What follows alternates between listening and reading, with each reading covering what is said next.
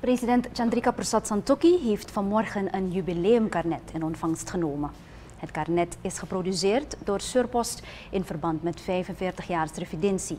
Het ontwerpen van dit jubileumkarnet was een van de activiteiten van de Nationale Revidentiecommissie.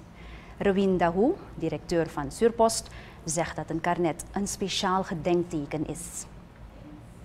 Dit jaar is gekozen voor een prachtige presidentieel paleis in het banner het jaar waarin de onafhankelijkheid van Suriname formeel is geschied.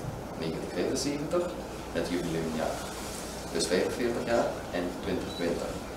En een ster als symbool voor de gouden toekomst van ons mooie land en eenheid van het volk. De president vindt het een grote eer om het eerste jubileumkarnet in ontvangst te nemen.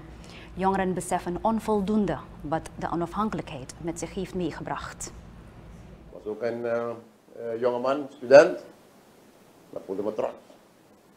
Woonde in het district, kon ik niet afreizen naar de stad, maar ik volgde alles op de radio en ik voelde me trots dat we onafhankelijk werden.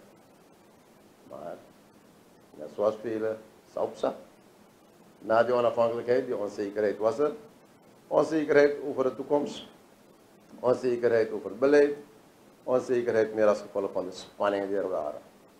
Dat is historie. Vandaar voeren we met elkaar naar uit met een ster. Die eenheid hebben we bewaard, ook in die 45 jaar. De natie Suriname is verder versterkt. En uiteraard geven jullie ook hiermee namelijk dat we een gouden toekomst hebben. Letterlijk en figuurlijk. Maar je kan goud hebben en toch geen gouden toekomst hebben.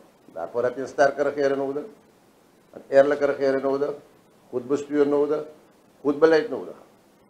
En daarvoor staan wij als regering om te zorgen dat die gouden toekomst voor alle Surinamers gecreëerd wordt met goed beleid en goed bestuur.